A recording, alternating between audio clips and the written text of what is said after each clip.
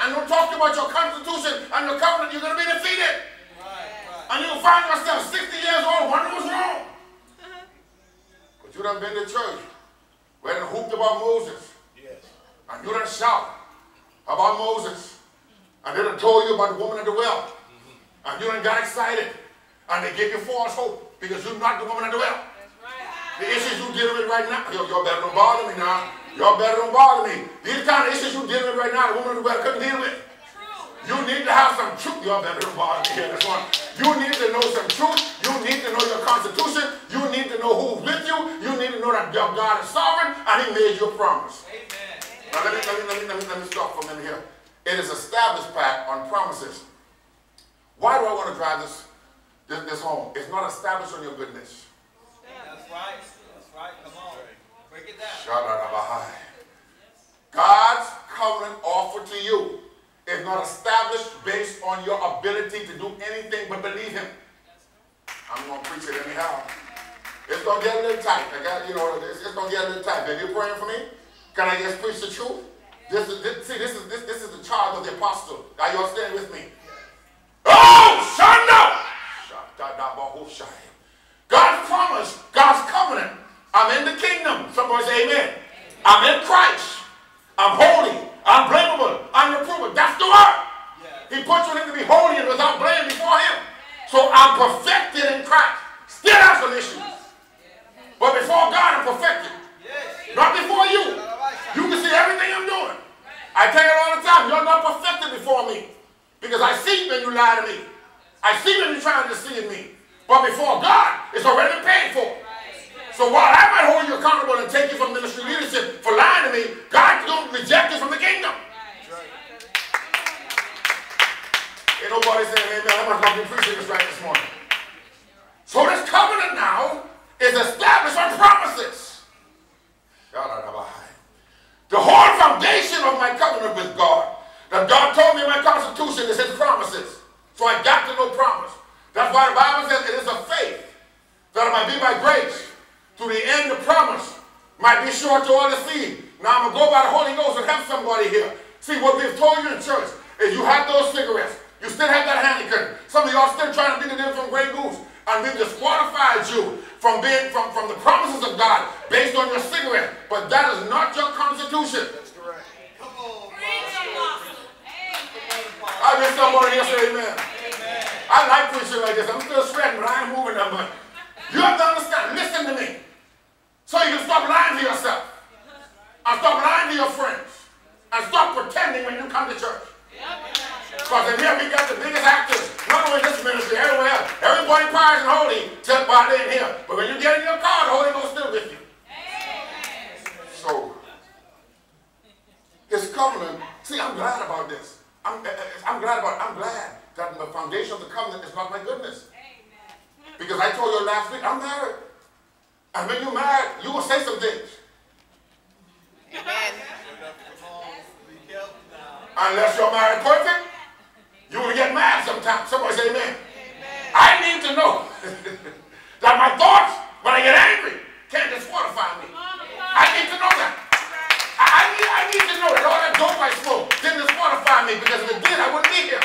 I need to know that. I, I know you're perfect and you got it all together, but keep me lifted up. I need to know that if I slip and curse, and that's every now and then, I don't curse that much no more. I was a, I was a A1 cursor when I was in the world. Somebody said, man. When I was in college, they needed to cuss somebody or they came to get me. Because I got to cuss and rhyme. Oh, y'all know what I'm talking about. You you know what I'm talking about. They'll come get me. Check them, tell them off for me. Yeah. But I need to know that when I cuss out of frustration, it happens like once or twice a year, I, am not perfect like some of y'all. Pray for me.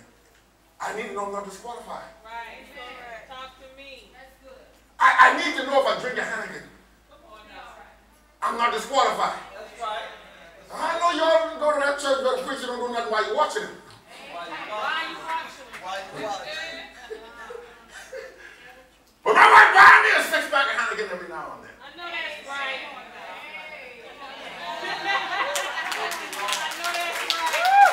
I'm coming back when you're ready to get serious about it.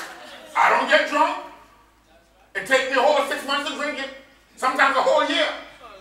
But sometimes, like when I was watching the Heat Game 7, I felt like a Heineken. I, wanted to rule a lot. I want so I felt like drinking a Heineken, and I opened it up, click.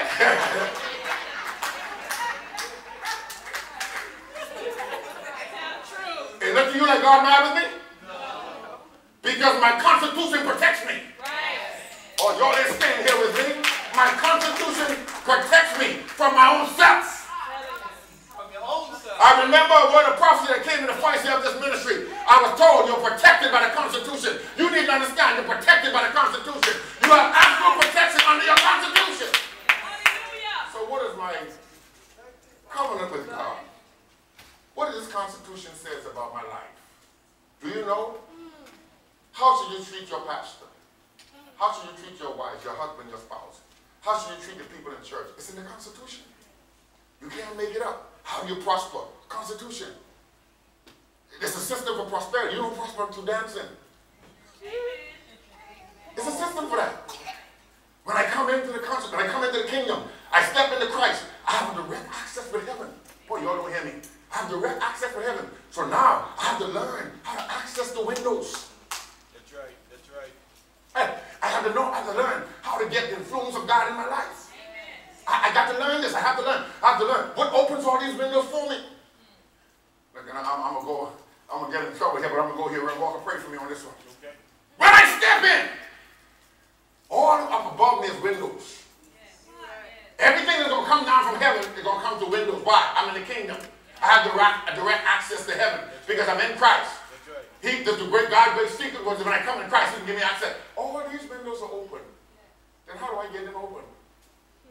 They're there. I can see all these things up here. I'm in here. I see all these lights. How do I get these lights to function? One switch got all this stuff on, you know. Mm, but if I want to go to each individual thing and receive from that, it has to be on first. Right. If it's not on, no going to give me no light. That's right. Y'all staying with me? So when I step in, I'm, I'm, I'm going to sidebar with this. When, when I step in the kingdom, I'm talking to somebody.